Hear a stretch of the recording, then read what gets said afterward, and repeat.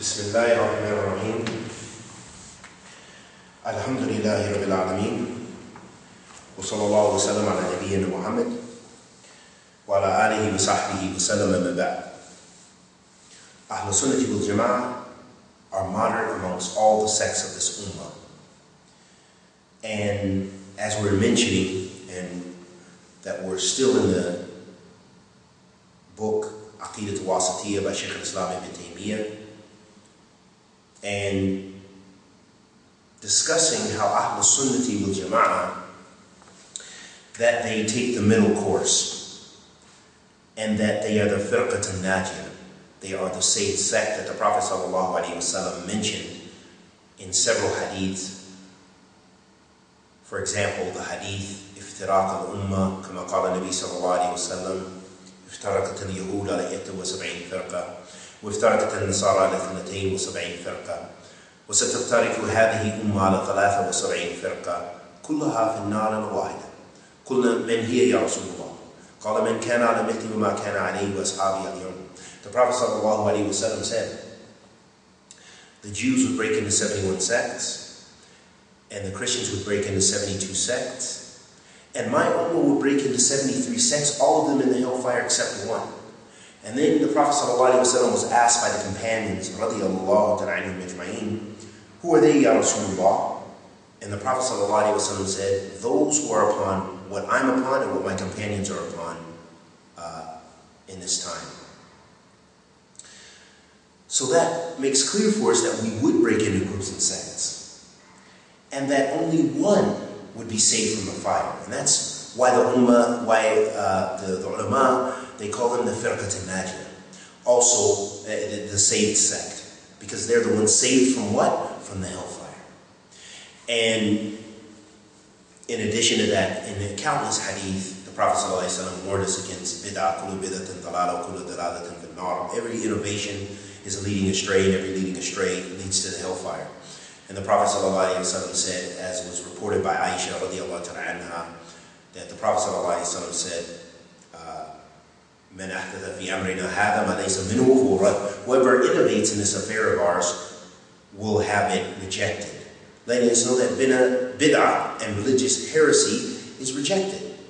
It's away from Kitabillah wa Sunnah Rasul And so, adhering to the Sunnah of the Prophet ﷺ and the sect that does so, based on the Quran and the Sunnah of the Prophet ﷺ and the madhab of the Salaf, not according to their desires, not according to their hizb, not according, according to their masjid or their group of brothers and sisters they hang out with, or whatever, or their, their people, their qawm, their nationality, their race, their color. None of that's going to benefit you. The only thing that's going to benefit you is your taqwa. Did you fear Allah subhanahu wa ta'ala? Did you call the kitabillah wa sunnah to Rasul sallallahu alayhi wa and adhere to what the Prophet sallallahu alayhi wa came with? But we find many of those sects or all of those sects uh, that are away from Ahl Sunnati wal Jama'ah, that they deviated. So we're going to talk very quickly about how some of these groups, we, we mentioned in the last lecture about the Mushabiha, they are called the Mujassima because they are, of course, they're opponents of the Jahmiyyah. As we mentioned, the Jahmiyyah flee from their creed to their negation of Sifat. And they are opponents of the Jahmiyyah in the affirmation of names and attributes of Allah subhanahu wa ta'ala. They believe that Allah possesses a hand similar to the hand of His creatures. Uh, hearing as hearing of His creatures, sight as the sight of His creatures, etc. Uh, Allah subhanahu wa ta'ala is exalted and free from what the wicked sinners say about Him. Subhanahu wa ta'ala. So this is the case of the Mujassima and the uh, the Mushabiha those people who make a resemblance between Allah and His uh, and uh, Allah Subhanahu wa Taala's creatures, you know, human beings and other things that possess hearing and sight and those qualities, and they make a resemblance between their characteristics and the characteristics of Allah Subhanahu wa Taala. And Allah negates in the Quran. He says, "Laysa kamithlihi shay, wa basir." He said that there is nothing comparable to Him, and He is the All-Hearing, the All-Seeing. So Allah subhanahu wa ta'ala affirm, uh, negates for himself that there's any resemblance between him and his creatures, And he affirms for himself, subhanahu wa ta'ala, that he does possess hearing and seeing. His hearing and seeing is not like his creatures, and his creatures' hearing and seeing is not like him, subhanahu wa ta'ala. Also the Jabariyah. The Jabariyah, they are uh, they are like the Jahmiyyah and all those people who follow them.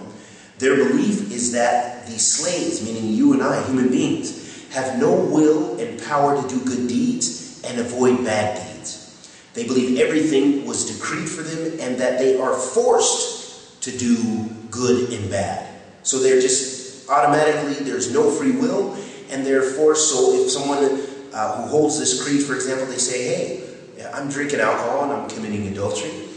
This is, um, this is the qadr, qadr of Allah subhanahu wa ta'ala. And they're right, it is the qadr. It's what Allah subhanahu wa ta'ala decreed, but it doesn't please Allah. And you have the choice to do that. So then they are choosing to do the sin, but they're using the qadr to justify their evil. So they're saying, hey, you know, uh, you know, I was destined for this, so I'm going to complete this destiny. But this is incorrect, and so this is the creed of the Jabariyah.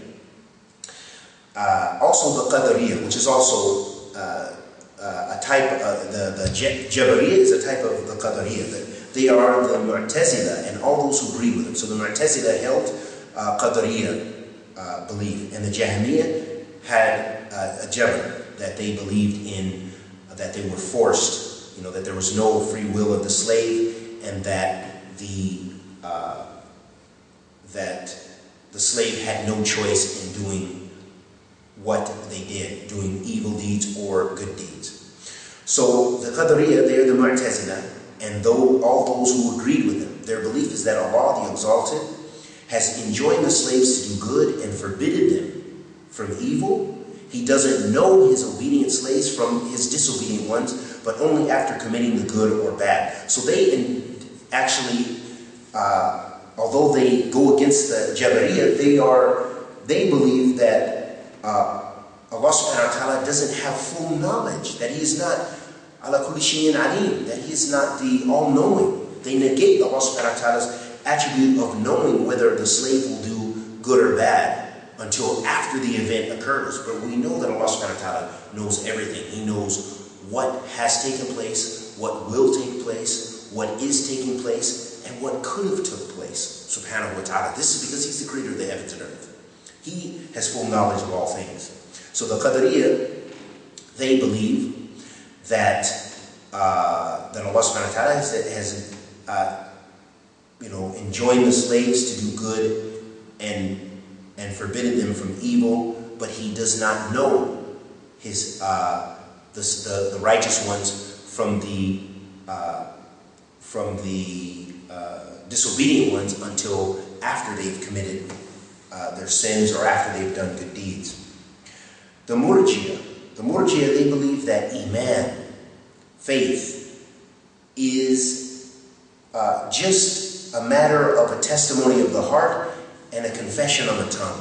They believe that, for example, you take the Shahada, Ashadu an la ilaha illallah wa ashadu anna Muhammad Rasulullah, that you bear witness that there is no God worthy of worship and that Muhammad sallallahu is the last prophet and messenger and they believe that's sufficient. And then to hold some sort of iman in your heart. They believe that iman doesn't uh, fluctuate, that there's no fluctuate. You're either a full believer or you're not a believer. And you can't leave Islam unless you say that in your heart. Meaning you can do any sin. You can do anything. Step on the Quran, but as long as you, in your heart, you believe, or you believe you believe, you're a mu'min. This is what the Murji'ah believe. So they say that committing sins does not harm your iman, and likewise good acts do not benefit in the state of kufr. And the extremists from amongst them, they say it is only the testimony of the heart and the shahada. Uh, the testimony of the heart and the shahada does not need to be proclaimed. So the extreme murjia say that you don't even have to uh, utter the testimony of faith to take the shahada, as long as you're a believer in your heart.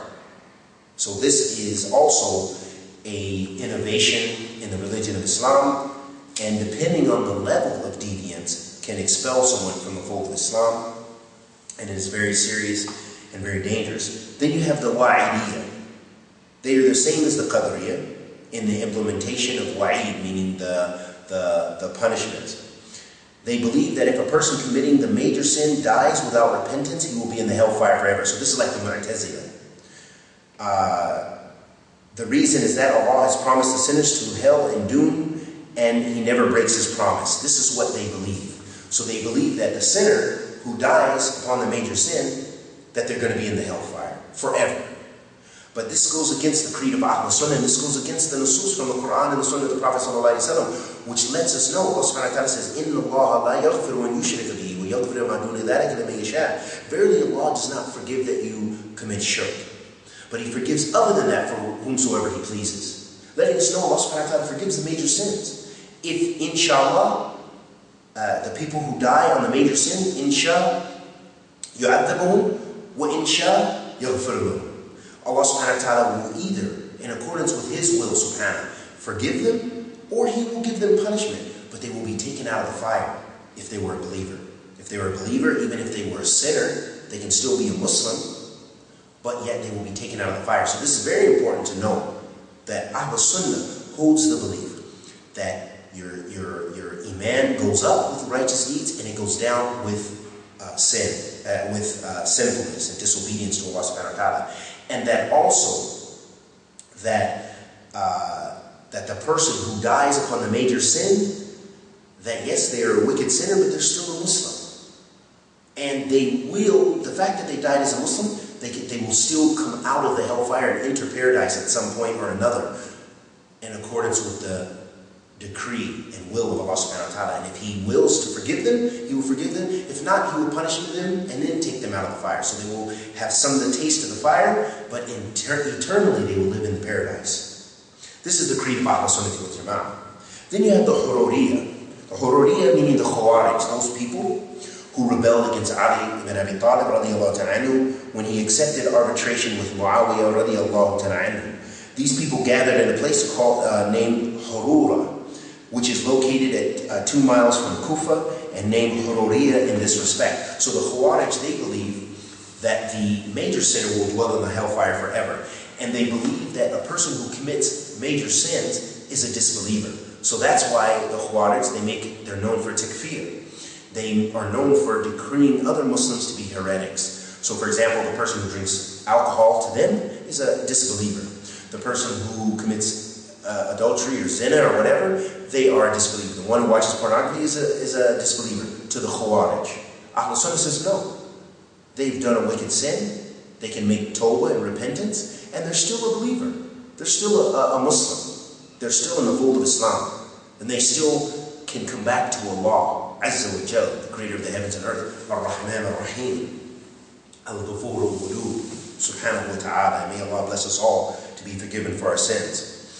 And so those are just some of the things. Also, it's imperative we talk about the Rafida. The Rafida, the Shia, uh, they are the extreme sect of the Shia who gave up Zayd ibn Ali ibn Hussein when he showed love to Abu Bakr and Umar radiallahu ta'ala They disregarded him in Kufa, so they, they freed themselves from him because he would not free himself from Abu Bakr or Omar. He loved them. Because they were the Sahaba to Rasul they were the best of this nation. They were the companions of the Prophet Muhammad sallallahu alaihi wasallam So this sect of people, these Shia, the extremist Rafida, they disregarded him in Kufa and adopted the name, the same attribute as they have done with his grandfather Hussein. So they freed themselves. And because they, the Rafida, the various forms of the Rafida, some of them, they make takfir of the Sahaba. They just say they're disbelievers. They're kuffar. Some of them, they call them hypocrites, basically the same. Some of them, they just curse them and, and so forth. They curse Aisha, the mother of the believers, radiallahu and they curse all the companions of the Prophet So they have different levels. Some, they make takfir, they just say they're not Muslim at all. Some of them, they and they accuse them of tampering with the Quran. They accuse them of distorting the Quran. They accuse them of hiding verses. They can, uh, accuse them of taking over the Khilafah when it should have went to Ali according to them, and many other manifestations of deviance and heresy. So this is why the Rafid, the Shia are not Muslim. We do not, they don't have, we can't eat their food, you can't eat their meat. If they're a Rafid, the Shia, you cannot eat their meat. If they're a Rafid, Shia, you cannot uh, pray with them, pray behind them, or anything like this. Uh, if they're a Rafid, Shia, you should have no relations with them, unless you want to call them to Islam. Invite them to the Quran and the Sunnah, especially if there's someone who's ignorant and who's receptive to, uh, uh, to Islamic knowledge, then yes, call them to Islam. However, you should free yourself from them because they freed themselves from our, the fathers of this ummah, the Sahaba of Rasul the best of this nation, companions of Muhammad sallallahu alaihi wasallam, and they negate the Quran and they get, negate the Sunnah of the Prophet sallallahu alaihi wasallam. And there's so much ample books out there and details about this. This is not the time or the place, but we just wanted to get a, a, a background about how these different sects differ with Ahlul Sunnah and why Ahlul Sunnah is wasat between them because Ahlul Sunnah loves the Sahaba of Rasul sallallahu alayhi wa sallam radiyallahu ta'ala majma'in. Ahlul Sunnah loves Ahlul Bayt radiyallahu ta'ala Ahlul Sunnah, they affirm the names and attributes of Allah subhanahu wa ta'ala as they came in the Quran, as they came in the authentic Sunnah of the Prophet sallallahu alayhi wa sallam. Ahlul Sunnah believes in Iman as the Prophet sallallahu alayhi wa sallam uh, articulated Iman uh, based in his authentic Sunnah, sallallahu alayhi wasallam, and according to the Quran, and according to the madhab of the Salaf al-Salih, radiallahu ta'ala So all of this makes us in the middle compared to those other groups, compared to the Ahl Tashbih, with the Jahmi, ومعتزلة ومعطلة وأشاعرة وكلابية وماتريدية وخوارج وحرورية وthe Neo-Takfiris and all these other groups that have, that have went astray. All of these sects that went astray and distorted the divine names and attributes of Allah subhanahu wa ta'ala or very important aspects of creed. Another point I want to mention before we end this, this particular dars is that also uh, I heard a, a very beneficial uh, faida Sheikh Saleh al Sheikh mentioned, Hafidullah Ta'ala, when he was describing, he was asked about uh, the difference between the jama'at and the sects, meaning the ahzab, the hizbiyun, and the firqa, or, or firq, meaning the groups and sects versus the groups like Ikhwan Muslimin, Jamaat wa Hijra, Jamaat Tabligh, uh, the Sururis, the, uh, all these various groups that you have out there. And he said that those, uh, one of the differences is that you find that a lot of those groups, for example, Ikhwan Muslimin and so forth, like we just mentioned the Khawarij and all those other groups, that they hold a particular creed or minhaj, uh, a particular creed with regards to how they deviated from Ahl Sunnah, you know, with regard to the Qadr or Iman or uh, Allah subhanahu wa ta'ala's divine names and attributes. And you'll find that those his, the Hizbiyun, those groups, these new groups, which are not really sects, but they're more groups, Ikhwan Muslimin, you can't say Ikhwan Muslimin altogether have one specific creed. Because you'll find amongst Ikhwan Muslimin, every, you'll find even some Sufis, you'll find some people who worship graves, you'll find people who are very close to Ahl Sunnah in their creed, but yet they just have this political inclination, so they go with Ikhwan Muslimin. You'll have every type of uh, uh, uh, variation in creed, so they don't hold a particular creed. Likewise with uh, Jamaat al the, uh, uh, the Tabligh, Jamaat Tabligh. What do you find? You just find many people, Muslims from all over, who have various types of aqidah and creed that come together and call people to the salat and call people to make khuruj and, and, and do their various activities that they do. They do not come together on one specific creed. You'll find some people from amongst uh, uh Jamaat Tabligh who may be Salafi or may be Salafi in their creed, but their minhaj, they went astray in a particular aspect of minhaj. They see that there is benefit in going with Jamaat Tabligh or whatever. So this is why, uh, this was a faida that uh, Sheikh Saleh Ali Sheikh mentioned, is that there's a difference between those ahzab, those hizbiyun, those groups, versus the sects. Sectarianism, they hold a specific creed or belief, whereas the hizbiyun and the groups, they, uh, uh these new groups, which are not really sects, that they don't necessarily unite upon a particular creed. You might have various creeds amongst them, but they unite upon a particular minhaj in dawah, a particular methodology in doing dawah. Akhwana Muslimin will accept everyone under the same umbrella and they agree to excuse one another for their differences and let's unite upon those things we agree upon. That's the madhab or the minhaj of uh, uh, uh Akhwana Muslimin. So they will have Sufis amongst them, they disregard their differences, and they come together. And they'll have people who have the creed, generally, of Ahl Sunnah. We'll all come together in the same umbrella and just say, hey, we're Muslim, let's work together in those things we agree with. That's not the method of the Salaf Salih. That's not what the Prophet ﷺ called us to. He, he, he sallallahu wasallam and the Sahaba radiallahu were free from Ahl bid'ah. They freed themselves from them. So that's why we can't unite upon any old call. We can only unite based on Kitabillah wa Sunnah Rasul sallallahu wasallam.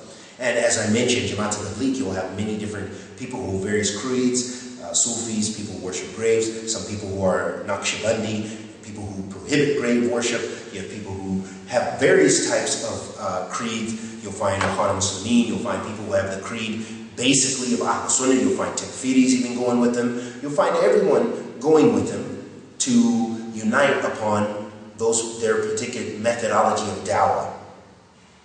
And we ask Allah the Almighty to accept this good and forgive our evil. Sallallahu wa sallam ala Muhammad wa ala alihi wa sahbihi wa sallam.